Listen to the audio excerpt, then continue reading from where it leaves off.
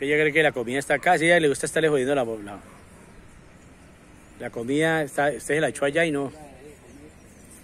Oye, la que ella ahorita come. Alimentando a la mona de Siloé, hoy martes 29 de marzo de 2022.